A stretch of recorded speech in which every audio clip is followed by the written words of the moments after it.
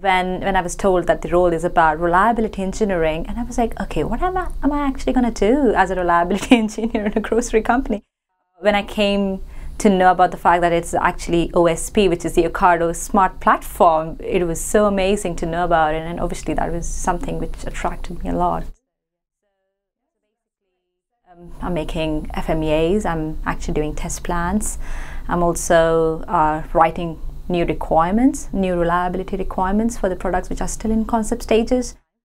It is so exciting because you get to work on a variety of projects, which, which is not only, you know, just one domain, it's a multidisciplinary domain, so electromechanical, software side of it and things like that. So it is, it is actually wonderful.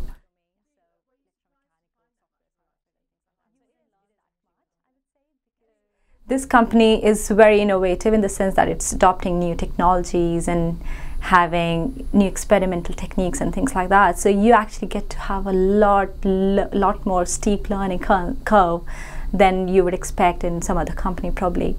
So I think that's something which which I would say to people that you know come and uh, work with the company and you will realize how good it can be for you.